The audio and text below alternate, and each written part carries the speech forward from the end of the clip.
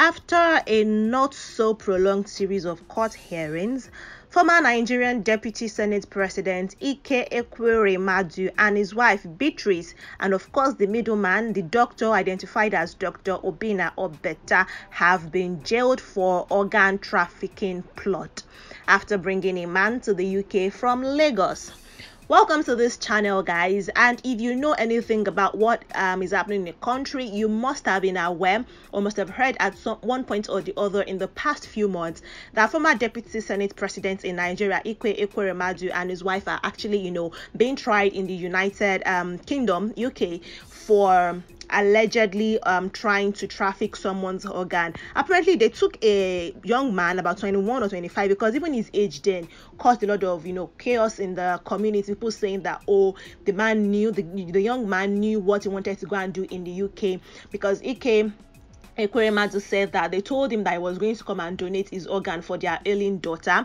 and their 25 year old daughter, and that he knew what was going into, but because he just wanted to get to the UK, he got to the UK, he turned his back and then you know told officials and you know police officers that he didn't know what he was doing in the hospital. They just told him that they wanted to give him scholarship. Remember that just yeah?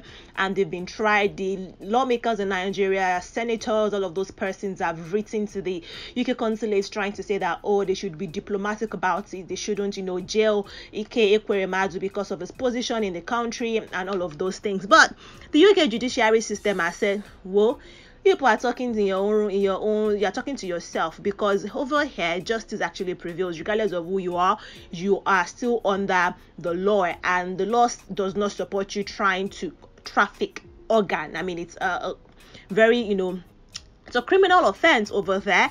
And so the judge has done the sentencing after you know adjourning the case several times.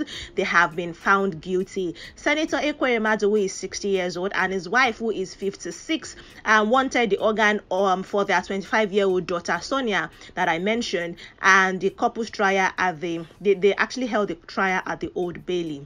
Now the pair that is the husband and wife and dr obeta who is 50 were convicted previously of conspiring to exploit the man for his kidney.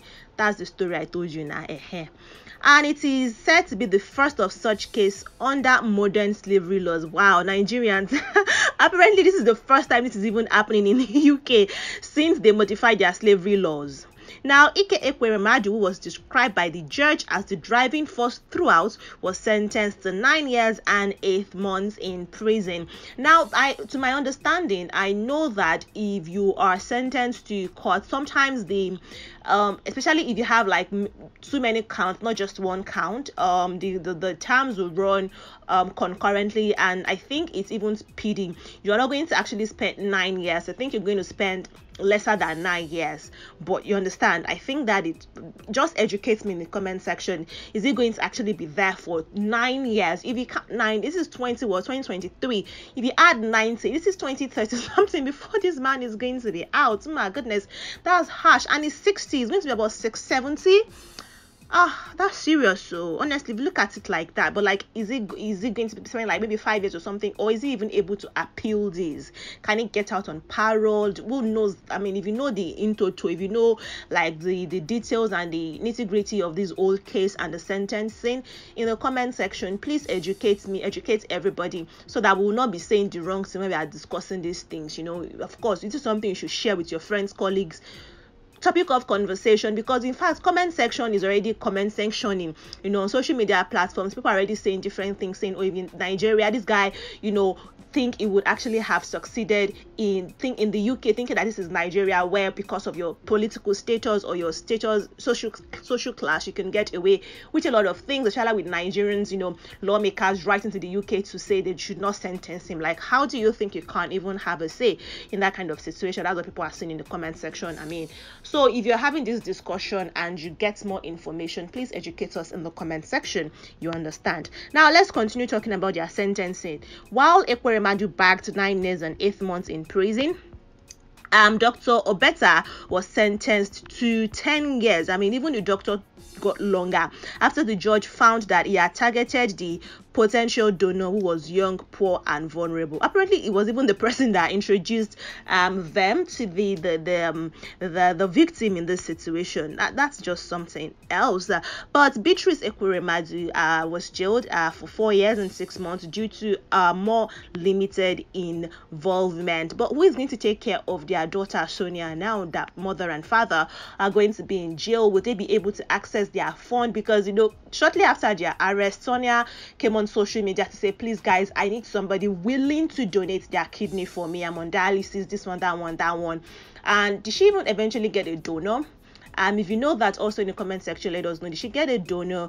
And now that you know she's been living off her parents, of course she has her own education. She's doing well for herself as a person. But since she, given a situation, saying that she is um at the moment ill, I, I want to believe that our funding would our parents would be funding her right? Would have been funding the health bills and all of those things. But now that these men are these couple are, are in prison now who is going to be taking care of our financial needs? And you know as regarding our health bills and all that you know she's in the uk i don't know how the insurance is going to go. Well the health system in uk would they be able to still you know with their insurance if they have a, a insurance in the uk will it still cover even though they are in jail I have a lot of questions. Mm, this is quite interesting. And the sentence was actually televised, and Mr. Justice Johnson uh, recognized um, Ike Ekweremadu's substantial fall from grace. He said people trafficking across international borders for the harvesting of human organs is a form of slavery.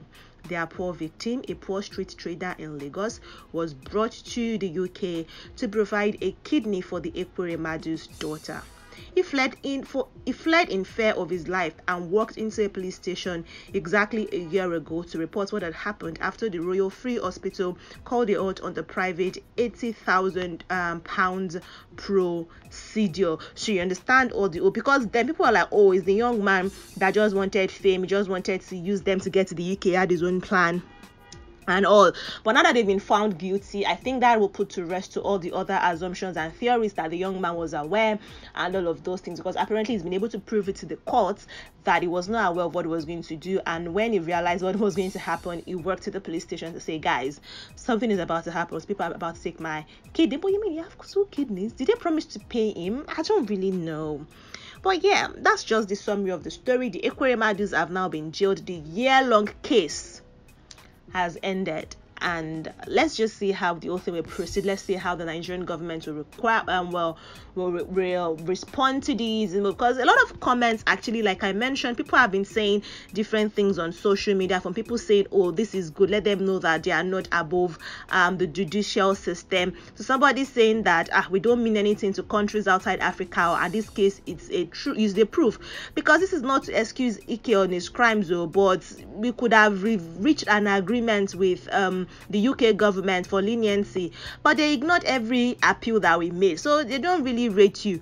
But Babajide is now saying that your political class run to the west, you political class run to the west for everything education, healthcare, properties, dual nationalities for your kids.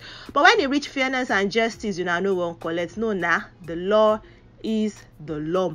You know, somebody said I don't even feel sorry for any of them. They should add 10 years more. So a lot of mixed reactions, um, you know, from netizens, from Nigerians concerning the Ekweremadu situation. I'd love to hear from you though. Let me know what your thoughts and opinions are concerning these. I'm going to see you in the next video. Until then, guys, stay glued to this channel by subscribing and clicking on the bell icon that will pop up after subscription. That is what is going to let you know when we have interesting gist for your viewing pleasure. I'll see you in the next one. Until then, guys, bye.